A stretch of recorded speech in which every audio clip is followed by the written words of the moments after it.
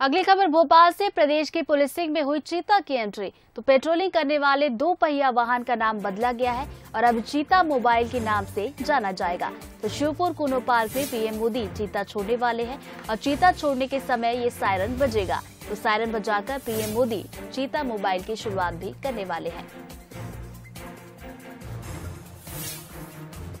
जो two wheeler के patrolling वाहन हैं, जो गश्त करते हैं वो एक रूपता लाते हुए, अब ये सभी टू व्हीलर वाहन अब चीता मोबाइल के नाम से जाने जाएँगे और पेट्रोलिंग पूरे प्रदेश में चीता मोबाइल करेंगे। कल जब प्रधानमंत्री जी वहाँ चीते छोड़ेंगे, उस समय एक बार ये शायरन बजा के अपने गश्त का प्रारंभ कल से एक रूपता, पहले से भी चीता मोबाइल कुछ जगहों पर था अलग अलग नाम से था, अब इसमें एक रूपता लाके चीता मोबाइल के नाम से ये मोबाइल पुलिस हमारी जानी जाएगी।